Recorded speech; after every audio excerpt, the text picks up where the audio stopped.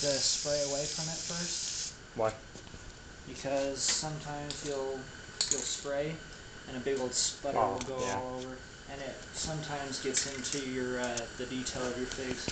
So, just doing a video to show you guys how to spray with this crap because this is a little bit different. So, just as you can see, we're pulling it away and spraying back and forth.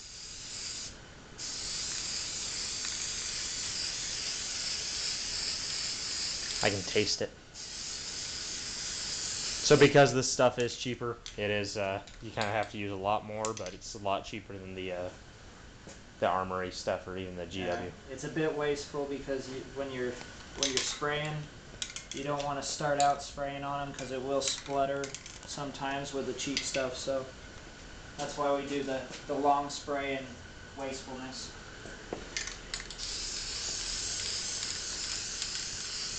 We might also have to do a couple coats. Oh, On this. sure. Make sure we get everything. I think you kind of got a little too close to your bouncer there. That's alright. Yeah, on the shield I did. Yeah. We got those right over there. That's going to be some terrain.